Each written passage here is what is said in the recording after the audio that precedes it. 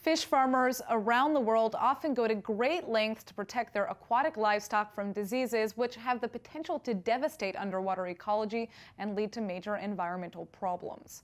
Well, one new Israeli startup has found a way to stop viral diseases from spreading throughout the global shellfish population.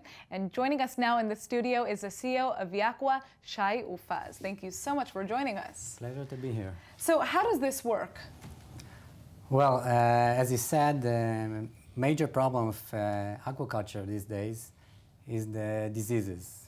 And uh, what we do in, uh, in uh, ViAqua is developing a technology to treat the viral diseases in aquaculture. Um, our solution, uh, the way we do it is by using um, a cell mechanism which uh, called RNAi. And uh, we actually triggering the cell immune system of the shrimp in order to uh, eliminate the virus. Uh, it's funny that you're focusing on shellfish more specifically, right? Because we are in Israel, the kosher land of Jews, right? Is this also applicable to other fish as well? Yes, it, it's really funny, but uh, actually, uh, shrimp uh, is a very uh, big and uh, commodity in aquaculture and uh, has uh, more than 20% in value, 20% from the total value of aquaculture. Wow. And uh, actually in shrimp, there is no solution, current solution for the viral disease that attack into them.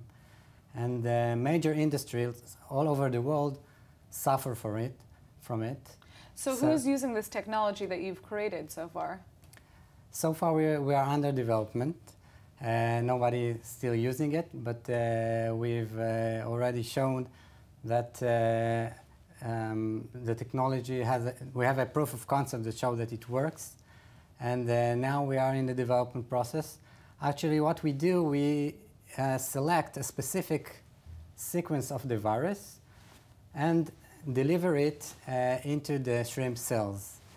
Um, the RNAi technology is very efficient in, in shrimp. When you inject it, it works fantastically.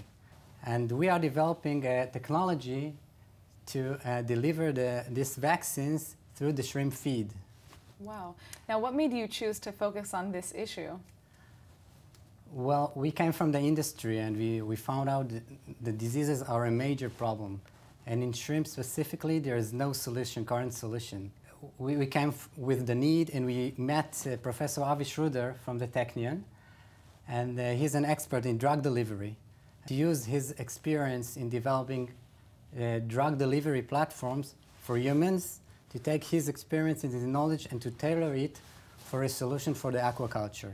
So I'm yeah. sure all of those who are involved in the fish farming industry are going to see this and be very excited about it. Good yeah. luck. I hope everything works out. Thank you very much.